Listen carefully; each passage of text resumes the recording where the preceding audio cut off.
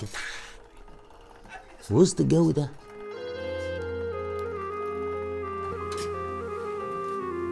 أقدم المهن اللي عرفتها البشرية.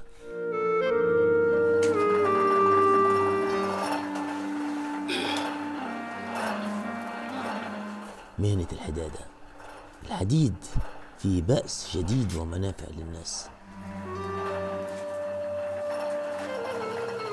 مهنة صعبة. لكن عمك محمد حيدرة سيوة ما بيتنازلش عنها أبدا. مهنة جدوده متمسك بيها جدا. والنار لا يمكن تقرب لعمك محمد حيدرة لأنه أقدم وأمهر وآخر الحدادين في سيوة. أنا عندي دلوقتي عمري 64 سنة. علمت الصناعة من أبويا بس دي كان وراثة الجد الجد. أنا خدتها وراثة كان عمري 19 20 سنة.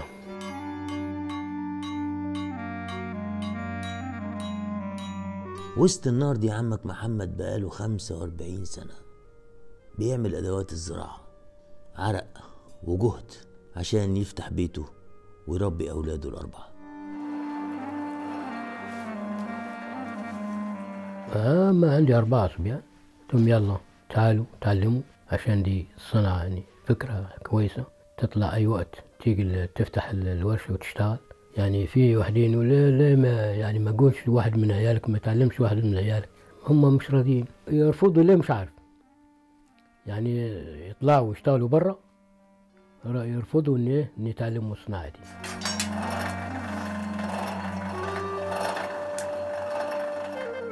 في البيوت الطينية العتيقة دي اللي بناها أجداده كان عم محمد بيأجر الورشة دي وبعدين فضل يسهر ويشقى ويتعب ويوفر من قوته وقوت عياله عشان يشتريها. عشان يعني يبقى عنده ملك؟ لا. عشان يحافظ على أهم ميراث ممتد من والده وأجداده. أدوات الحدادة والصنعة اللي معرفش غيرها.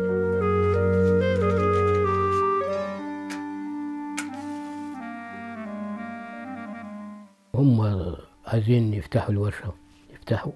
عايزين بعدين لما العمر ده ما ما تعلمش مين يا هو يا, هم ولا أنا. لما قلت لهم لا ما تبيعوش العدة. سيبوا العدة. ممكن واحد من أولادهم إيه يقوموا يتعلموا.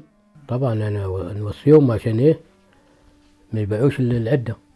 والعدة دلوقتي وكان بعتها بعدين ما تقدرش تشتريها تجيبها تاني يعني.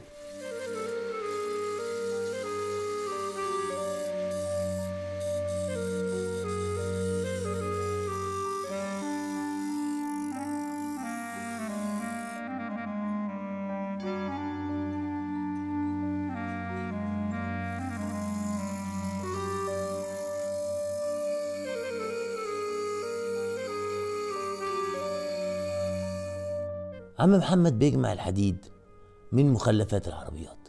أما الخشب فبيكون خشب الرومان ده للمنجل وخشب الزيتون للفس. بالنسبة للحاجات اللي في السوق دول يعني حاجات إيه؟ أي كلام يعني. يعني حاجة اللي تاخدها زي اليد مش اليدوي ما ياخدش يومين ثلاثة بالنسبة للآلات اليدوية طبعا إيه؟ تقعد معك يعني.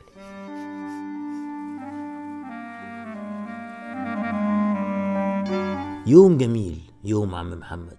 شقة وعرق ساعات طويلة في درجة حرارة معدلة 40 بكتير. لكن في اليوم الطويل ده عم محمد عمل منجل واحد بس اتكلف فيه كهرباء والعدة والفحم وعرقه اللي ما بينشفش وهيبيعه بمتين جنيه. يا بلاش يا محمد.